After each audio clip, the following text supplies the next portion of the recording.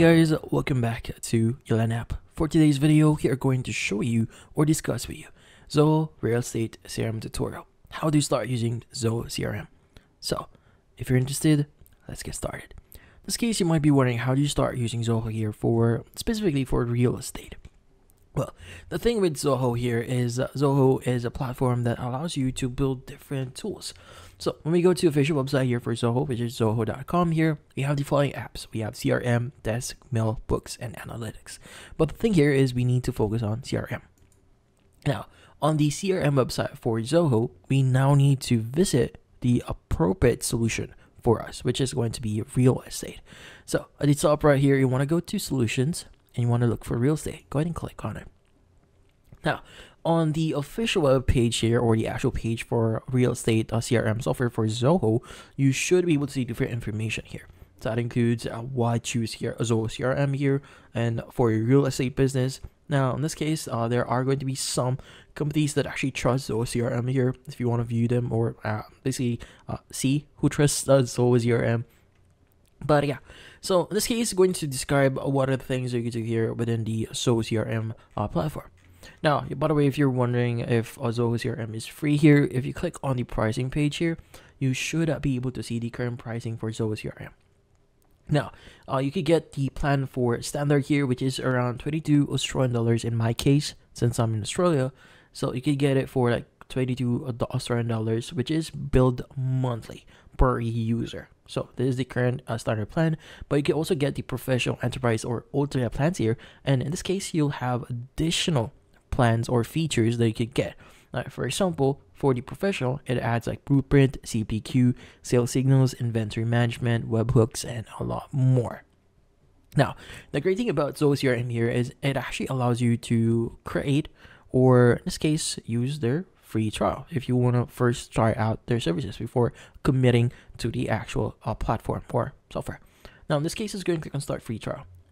Now, from here, we need to sign up which in this case you could go and do this manually by providing your full name uh, providing your work email password and phone number now you could also use your google account or your linkedin account here in order for you to create your account now by the way if you have specific needs you could also reach out to them to the following numbers here or reach them out on the following email address if you again if you need further assistance or special assistance. So for now, let's go and click on sign up with Google here.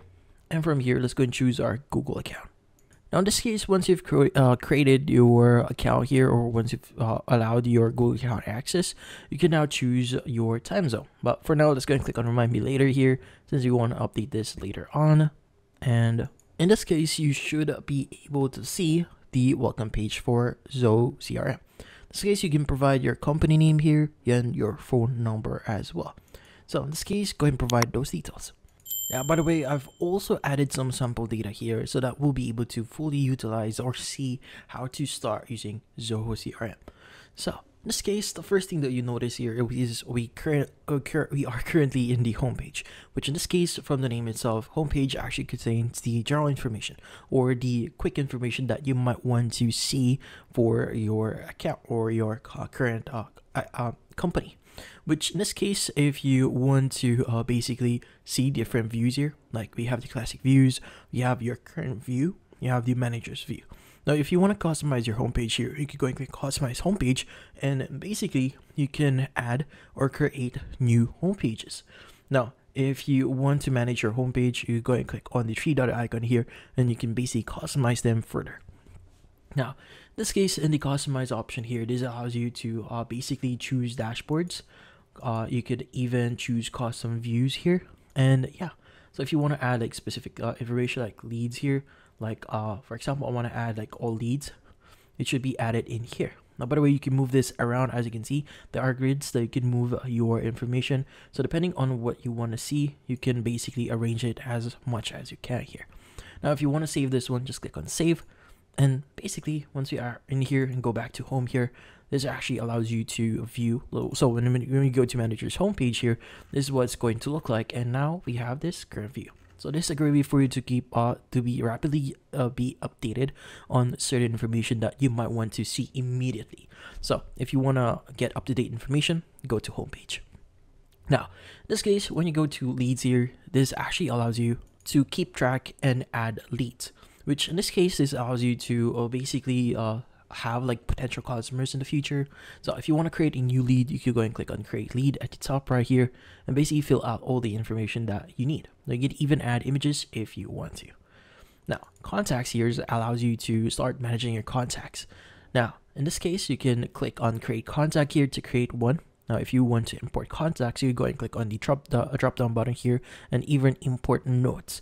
Now, if you want to edit a specific item here, now, by the way, this is the same thing with leads. You could go and click on the three dot option here and you could go and click on edit, even send email, create tasks for this specific uh, contact, add tags, delete, or even more like create call or create meeting. Now, by the way, if you click one of the contacts that we have here, so we have different information that we could view here.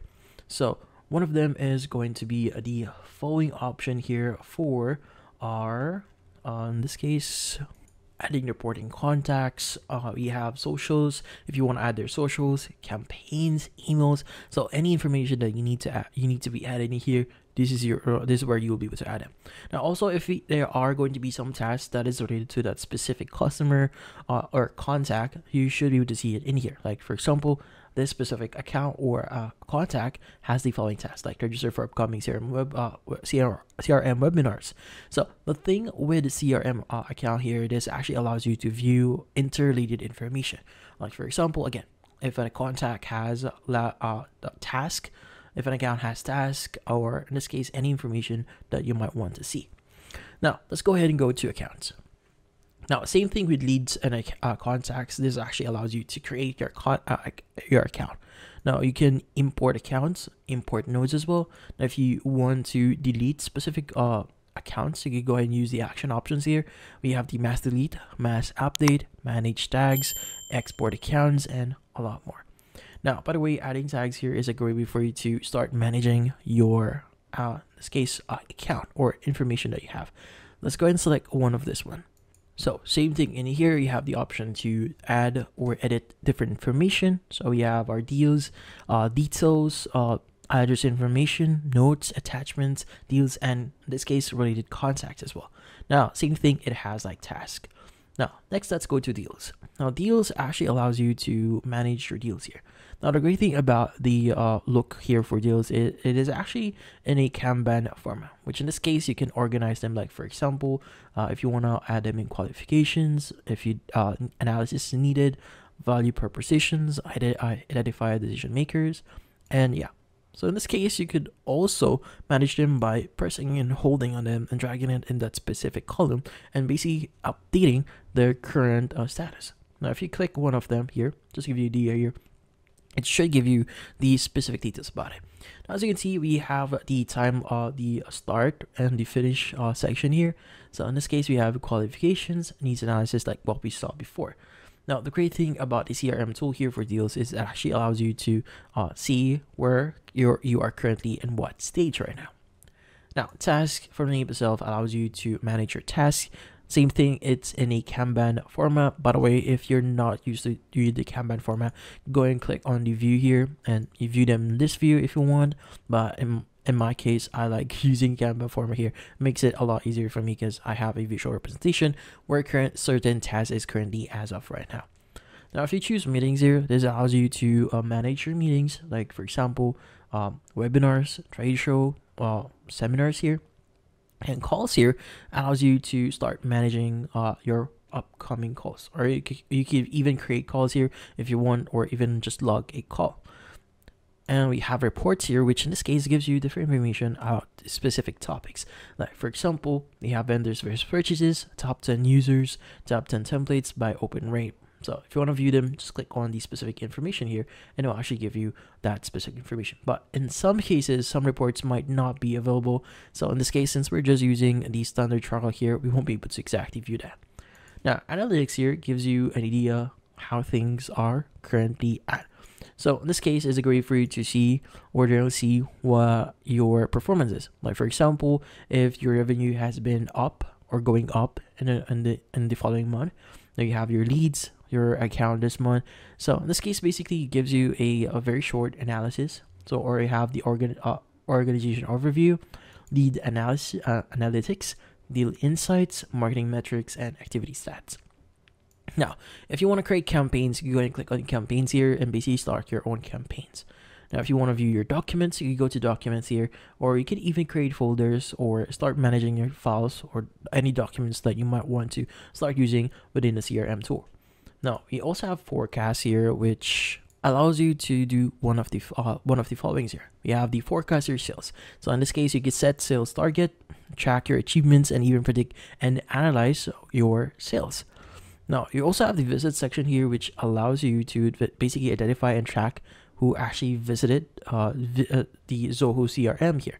Which in this case, if you want to get started here, you go and click on get started. Now, if you want to view your projects, you go to projects here and basically get started on adding your projects. But yeah, so obviously there are going there are going to be a lot of tools you use here on the Zoho CRM, but we just want to discuss here the beginner uh, or in this case the basics to get you started using the platform. But in this case, that's about it.